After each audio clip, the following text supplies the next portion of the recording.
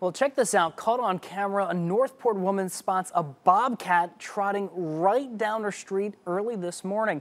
This happened near Bessemer Avenue and Florida Street Friday. Neighbors warn this video is just one example of many wild animals popping up in their backyards. NBC2's Joseph Ojo talks with neighbors who claim that their pets are actually being terrorized. Well, what some people find bold is that this bobcat was making an appearance bright and early in the morning when people are leaving for work and students are heading off to school. But FWC says this is not uncommon because they sleep only two to three hours at a time. If you see one, experts suggest yelling it to scare it away. It seems like we've been seeing a little bit more presence in our neighborhood. A little may be an understatement. There's a whole bunch of bobcats out here.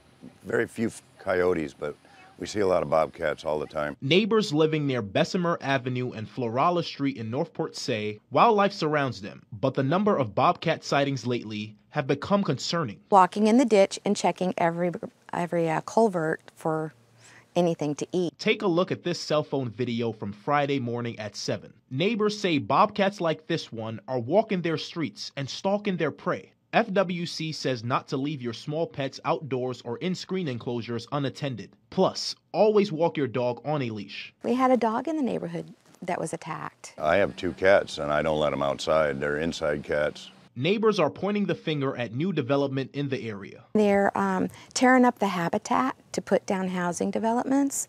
Um, where else are they going to go? They add while much can't be done to stop the bobcats, they are keeping their eyes open. Got a three-year-old grandson that's here. He plays out on the swings and does his thing. No, I have no concern about humans, but like I said, I won't let my cats out.